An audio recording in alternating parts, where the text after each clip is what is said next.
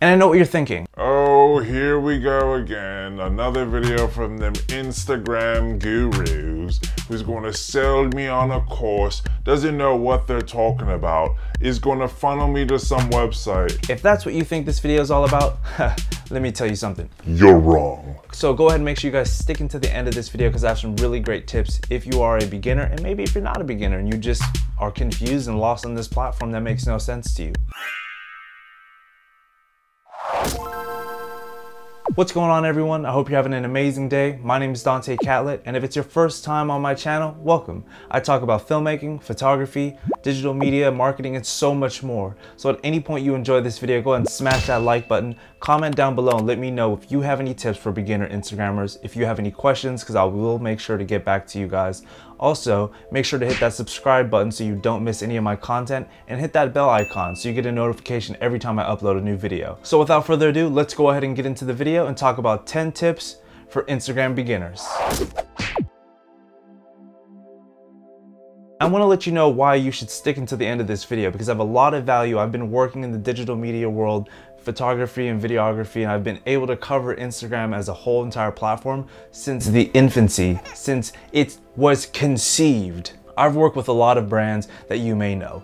Coca-Cola, Mercedes-Benz, Levi's, Pretty Little Thing, and so many other brands. I've worked with celebrities, I've also worked with influencers and helped them develop their YouTube channels. I've also been able to amass an audience size of over 1 million people. That's followers and subscribers across multiple platforms being YouTube, Instagram, Facebook, and I've also been able to reach over half a billion people organically with no paid marketing all through Instagram. That's right. So if you're a beginner to Instagram, I'm sure you're wondering to yourself, What is Instagram? I've got the answer for you.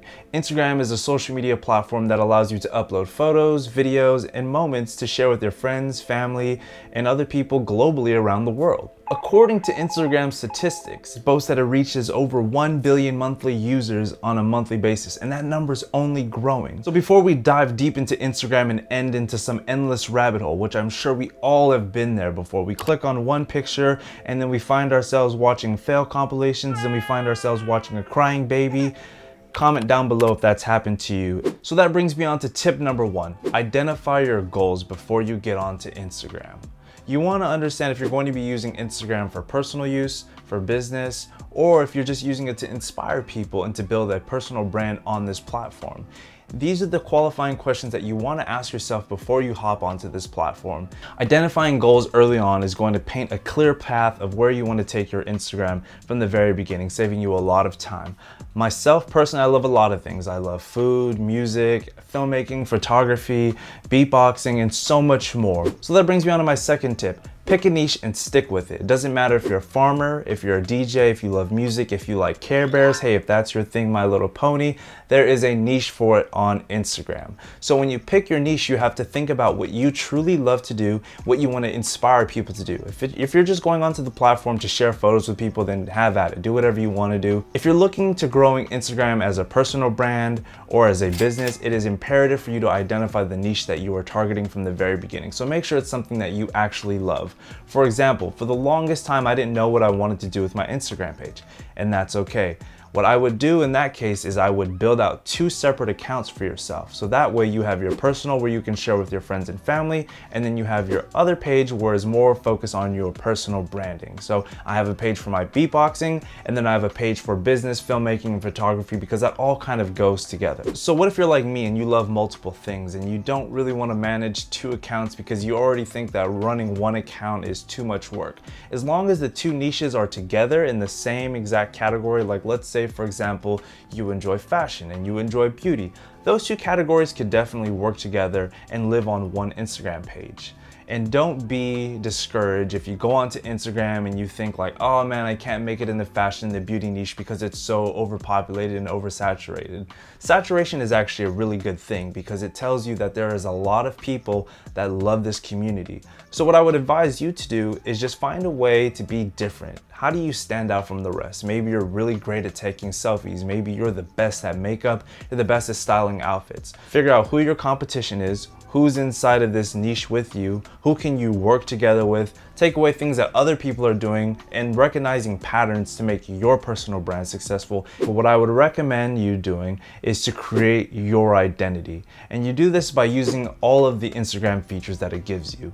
So the first thing that I would advise you to do is to go ahead and scroll onto your phone and create an icon for yourself. Maybe this is a logo, maybe it's a really great high quality photo of yourself that shows you for who you are and your personality. It's easy to see, it's clear, it's got bright vivid colors so anybody on the feed can see you. Whether it's being suggested to them, you're sending somebody a DM, or you're popping up in their notification and mention feeds, it's very important to stand out from the rest. The second thing to building your identity on Instagram that I would focus on is the description that it allows you to type. As soon as people click onto your page, they wanna know a couple of things about you who you are, what you do, maybe even where you're from because they love to connect with other creators.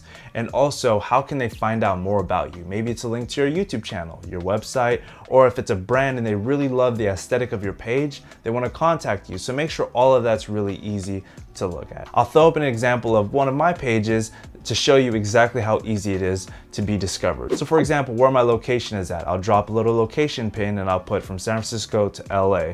Or another thing that I'll do is if I'm into filmmaking or photography, I'll put that emoji there and then I'll also list it there down below.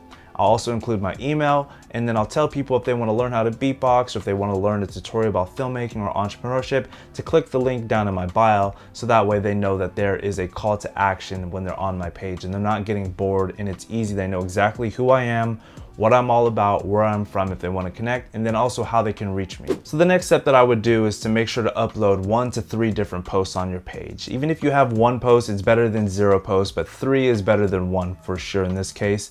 This is going to allow you to reach a community with your first three posts by using hashtags, by using geolocation tags, by tagging other people. So that way, when people click onto your page, it's not just a blank account. If people see a blank account and you have a bio and you have the, the nicest picture in the world, don't think you're gonna get all the followers in the world because it takes consistency, it takes posts that stand out, and it takes creativeness to really make it on Instagram. So that's what I really would recommend you to do. I would even post nine posts on there, not all at once, but periodically, maybe two or three a day.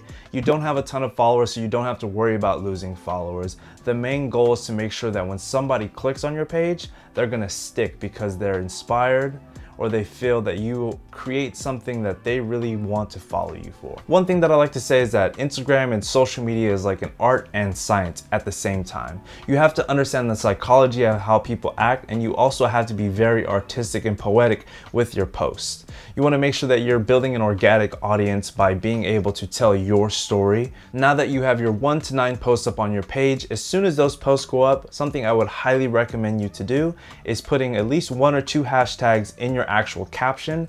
And then in the comments, depending on how many you've used in your caption, you're allowed 28 total hashtags. That means that you have 28 possibilities of somebody discovering you on these hashtags so long as your post sticks out. So now that you have your page set up, it's time to start growing your following, which brings me on to my next step, cultivating an organic audience. So cultivating an organic audience is a lot easier than people think.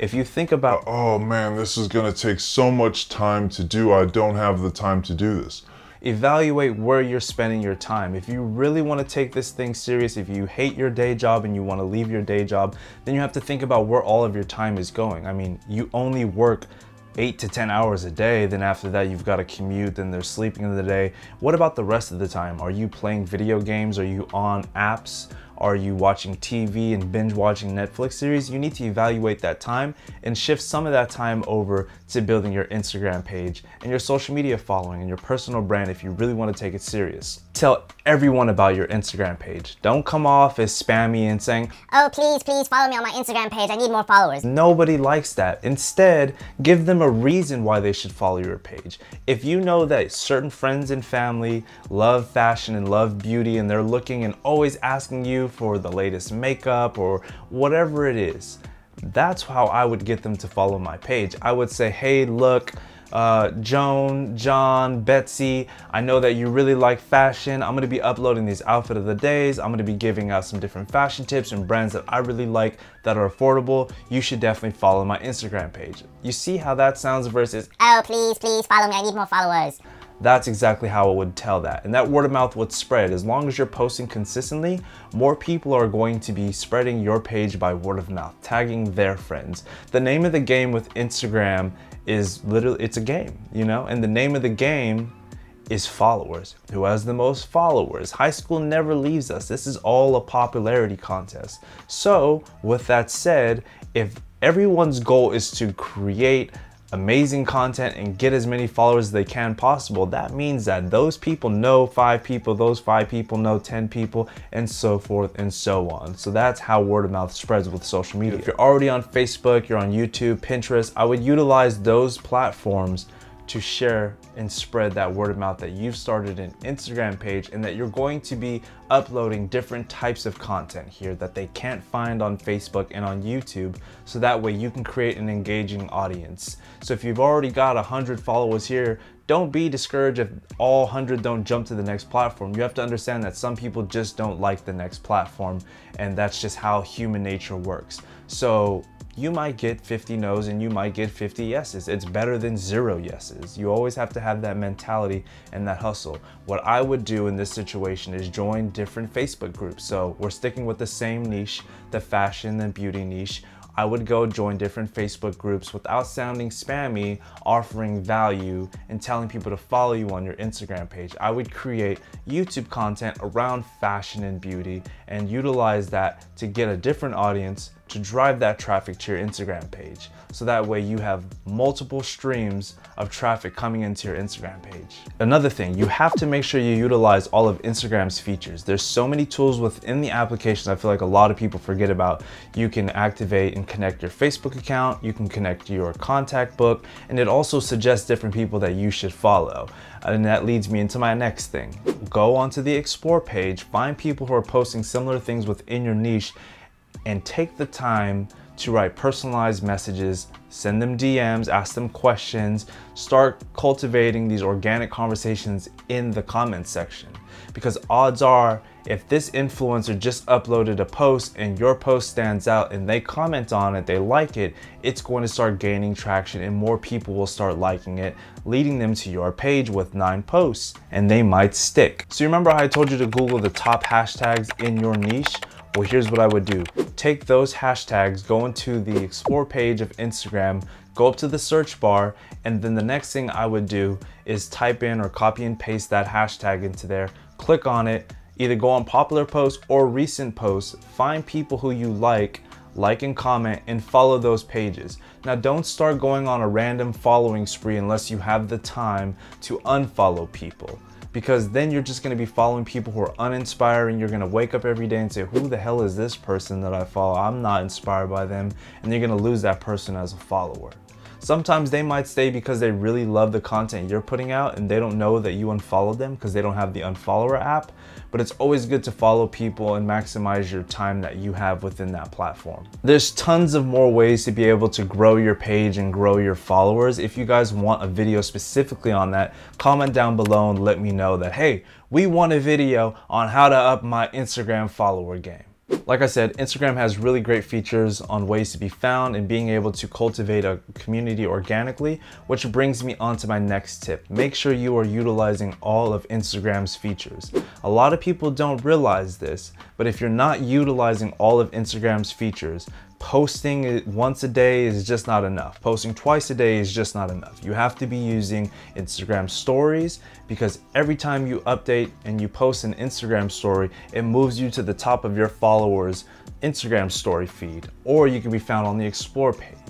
The other thing that you should be utilizing is Instagram TV. Something that I've been noticing, and here's a little secret for you guys, is that even if you're posting Instagram videos, you might have seen a drop in engagement recently. And that's because Instagram is weighing very heavy on Instagram TV videos. Don't believe me? They got an entire app separate just for Instagram TV. When you click on one, it doesn't bring you back to the place that you were at before. Instead, it suggests more Instagram TV videos. Try this out and let me know in the comments if that worked out for you. Speaking of video, if you're not with the whole vertical video, then I would still recommend to posting some type of video content because it gets more reach on the explore page. Go ahead and look at the explore page and see which posts are promoted more. If you notice on the explore page, all of the photos are very, very small, even the multi-post slide ones. The videos are bigger squares and that is digital real estate that you wanna own because they promote and boost videos because they know on the platform people stay to watch videos more than they do pictures. And I'm sure you notice this. If there's somebody who posted a picture and you really don't like the picture, you're just gonna keep swiping until something catches your eye. And that something is a video. You're aware of all the features that Instagram has to offer. How do you keep growing? Posting consistently. All right, so now that you've learned about all of Instagram's features and how to properly utilize them, let's move on to the next tip, which is consistency is key. Now, if there's something that I know about Instagram that's true in every social media platform, it's that consistency is key because your audience is what makes and drives your engagement and your reach. So if they know that you post once a week, twice a week, every other day, every day, that's what they're gonna be coming back for. So if you're not consistent, just like a TV series, if The Walking Dead said there's an episode every Thursday and they miss one Thursday without any type of communication, I'm gonna lose interest in that show almost immediately. And that's crazy how our brains think and where our attention goes and how quickly we can forget about things and someone. Here's another reason why you wanna stay consistent. Instagram's algorithm will promote you more if you are consistent. So if you're riding this wave and it's going up and all of a sudden you decide to not post, Instagram's gonna put you down in the ranks and that means less engagements for you. Next tip, set yourself apart. We already talked about this a little bit earlier on in the video, but setting yourself apart can really make or break your page, especially when you are starting out. A lot of bigger pages that can shout you out are looking for smaller pages to shout out versus shouting out influencers because they know that influencers are willing to pay to grow their pages, whereas somebody that's a smaller page, they might just say, hey, may we use your content, we really think it's dope, and we'll make sure to credit you. These are the ways that you can obviously grow your page. Also by setting yourself apart, you'll get approached by different brands and possibly different media outlets who would love to collaborate with you, use your work to promote on their media sites and different social media platforms. The next tip I have for you is do not do not by any circumstances buy followers or buy likes. This is one of the things that Instagram hates more than anything and they'll do anything to stop you. You might get your page disabled, you'll lose a lot of followers. Brands that want to work with you will definitely know that your engagements and your followers are fake just by using tools that I use to help brands identify which organic influencers they should utilize for their marketing strategies and their marketing campaigns. So just make sure to cultivate an audience. I know you want to get to 100,000 followers and a million followers as fast as possible. But just trust me, you will get there so long as you do the steps that I'm telling you, staying consistent, being different, utilizing all of the features on the platform. So before we get into the last two tips of the video, if you guys are enjoying this video, please smash that like button. Comment down below what you think so far of this video. If you want to see more videos like this, if you have any questions for me, leave them down below and I'll make sure to get to you guys after this video is up. Second to last tip that I have for you is do not spam pages. Pages hate being spammed with comments. You'll get nothing but hate from the community and you'll get a negative output. You might gain followers from it, but it's not the followers that you actually want to reach. Instead of spamming the comments and using a bot and paying for that service. Instead, take the time out of your day instead of commenting emojis to stand out. If there's somebody that you really want to get their attention, I would recommend turning on their post notifications so you are literally the first one or first couple of people to comment. Odds are they will be looking at the comment section. So if you say something really genuine, ask them a question about their day, they will spark a conversation with you, thus leaving your comment to the top having more comments underneath that feed, and hopefully getting a lot more likes, sending traffic to your page, meaning that you will be gaining a positive look in the community. And hey, you might make that person's day and they might actually follow you back, making your day. And the last tip that I want to tell you about is something that not a lot of people talk about here on this platform and not a lot of people have the knowledge about, which is do not make your page a business account. Instead, keep it personal. Even if you are a business account, you don't have to make it a business account, okay? It's not gonna make you look less of like a business unless you absolutely need the swipe up Instagram story feature or you really need the analytics within the Instagram page, you can always switch your account from personal to business. And here's a tip. If you have an Instagram story that you absolutely need to have the swipe up feature, something I would recommend to do is to switch your account to a business account, post the Instagram story, save that story underneath the Instagram highlight, and it will be there forever, even if you turn your page back to a personal page. And here's why. Instagram already limits the amount of organic reach that you can get. If you've noticed, all of your followers do not comment and like on your post when you do immediately or maybe they do and it takes them till the next day to see your post. And the reason for this is because Instagram is owned by Facebook, if you didn't know that, and their business models is to pay to play. Social media is literally a game, and if you've noticed, if you have a business account, there should be no reason why you should have one if you are under 10,000 followers, because this is going to limit the amount of organic reach and engagement that you could possibly be getting, which is going to take your page longer to grow. And here's why. When you put up a post, you'll notice that Instagram will say, hey, this post is doing really great. It's reaching more people than usual. Would you like to pay $5 to reach 25% more people? And this is something that a lot of people unfortunately fall for all the time because they want to pay to play. If you have the means to do so, then by all means use the features. Facebook has a really great algorithm with their advertising platform that allows you to really reach people that you want to. If you don't, keep your page a personal page. It'll allow you to reach the explore page a lot more frequently. And I know I'm gonna get somebody in the comments section that goes, well, Dontae, how do you know this? Is this something that you can actually prove? Yes, it is something that I can actually prove. I've managed over 25 different Instagram accounts and to this day I manage 15 and some of those pages are niches that gets our pages disabled. So I'm constantly trying to figure out what is going on with the Instagram algorithm? Why is it that I have a page that has 100,000 followers that does not hit 100,000 views, but I have a page that is 20,000 followers and it's getting 100,000, 500,000 views. The difference is this. The page that's 100,000 followers was a business account. The one that is 20,000 followers was a personal account. They wanted me to pay to play on the business account, whereas the personal account, I didn't have to pay to play. So I was hitting on all hashtags and hitting on the explore page. And that's it, folks. I'm sure that was more than 10 tips, but those are my 10 tips for Instagram beginners. If you have any questions, comments, concerns, please leave them down in the comment section. I will be more than happy to address this. If you know somebody who's a beginner or just not Instagram savvy and needs some help, please share this video with them. Also, make sure to subscribe to this channel if you want to see more videos like this. Hit that notification bell so I know you will get a notification. Thank you guys so much for watching this video. My name is Dontae Catlett and I'm out.